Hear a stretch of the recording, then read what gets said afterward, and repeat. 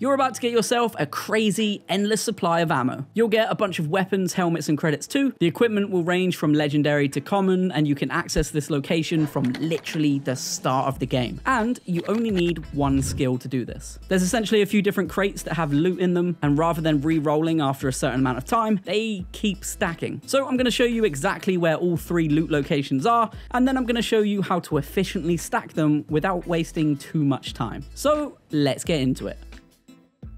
Okay, so the only thing you're going to need is level 3 of the security perk, and I know to some of you this sounds like a lot, but let me quickly show you how to speedrun your security levels, or at the very least, get you closer to level 3. So just drop into Akila City in the Cheyenne system, run over to the bank, which is just on your right. This guy sucks, so I'd just hop him if I was you. Now, you've got four ATMs out front. They can all be lockpicked, so get those first. Now, in the room behind the desk, there's a safe on the table, so pick that. And that is the first level of security done.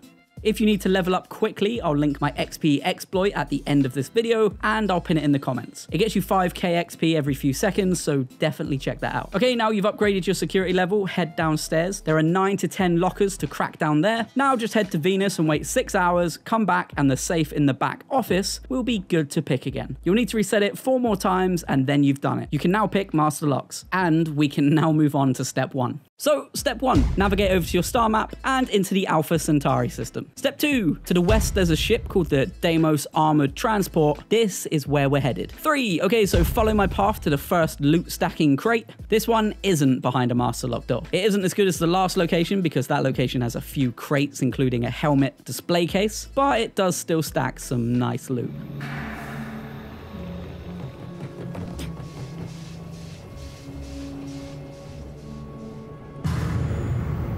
Step 4. This is the only crate that stacks loot in this particular area, so we'll move on. After a certain amount of universal time hours, more loot will appear in this crate, and then it will stay in there gaining more and more items from ammo, credits, weapons, and so on. So now you've looted that, follow my path to the big stackable loot stash, and another medium one on the way.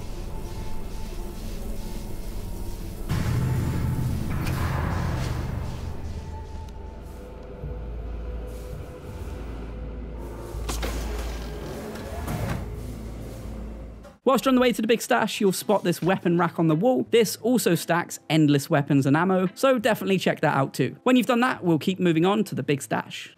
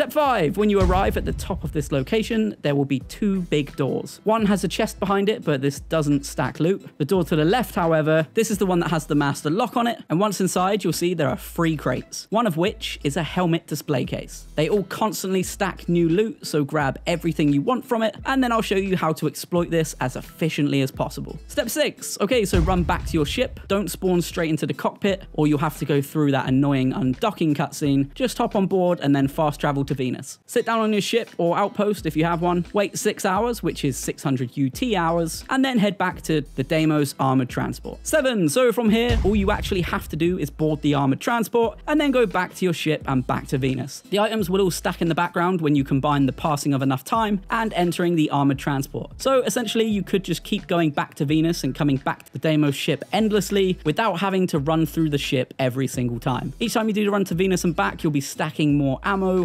helmets, weapons, and credits. So that's how you do it. If this did help, please do consider dropping a sub to help me out too. And if you want that crazy leveling exploit that I mentioned earlier, click on the video on screen now. Thanks for watching.